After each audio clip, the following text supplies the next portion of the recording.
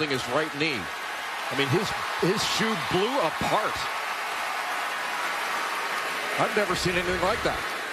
Watch when he plants right here. His foot comes out of his shoe.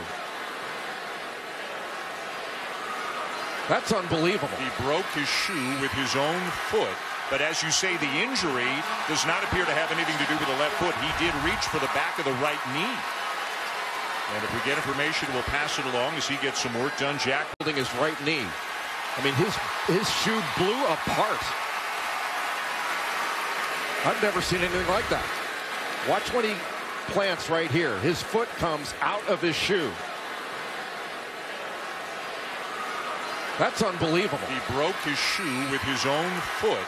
But as you say, the injury does not appear to have anything to do with the left foot. He did reach for the back of the right knee. And if we get information, we'll pass it along as he gets some work done. Jack holding his right knee. I mean, his his shoe blew apart.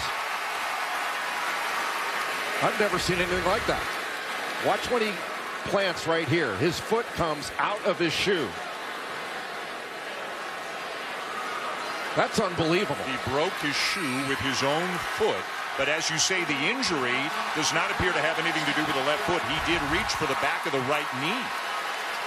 And if we get information, we'll pass it along as he gets some work done. Jack. When he plants right here, his foot comes out of his shoe. That's unbelievable. He broke his shoe with his own foot. But as you say, the injury does not appear to have anything to